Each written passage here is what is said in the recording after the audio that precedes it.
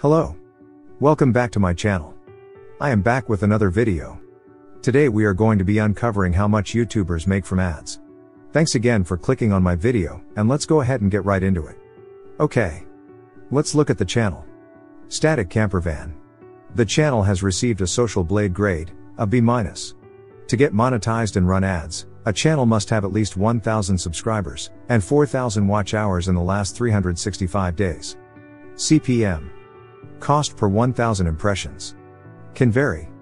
And advertisers pay an average of $3 to $5 for every 1,000 views.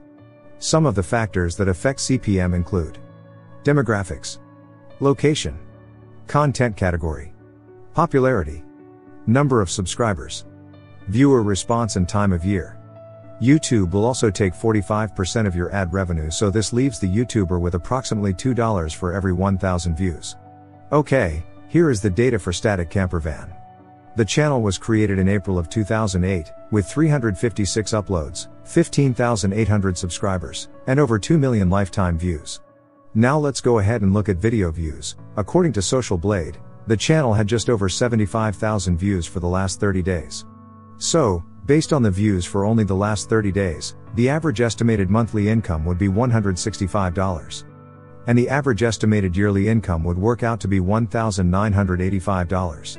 Some other income sources for YouTubers are Patreon, selling merchandise, affiliate links, and product sponsorship. Now let's take a look at new subscribers. In the last 30 days, the channel has gained a very impressive 600 new subs. Here are the future subscription projections for the next three years. In 2023, the channel is projected to have 18,400 subscribers. In 2024, 24,100 subscribers. And in 2025, an amazing sub count of 32,900. Okay, that wraps it up for Static Camper Van. Thank you so much for watching my video. If you haven't visited the Static Camper Van YouTube channel yet, please show him some love and subscribe to his channel. Also, please don't forget to subscribe to this channel, and a thumbs up would be greatly appreciated. Okay, thanks again. I will see you on the next video.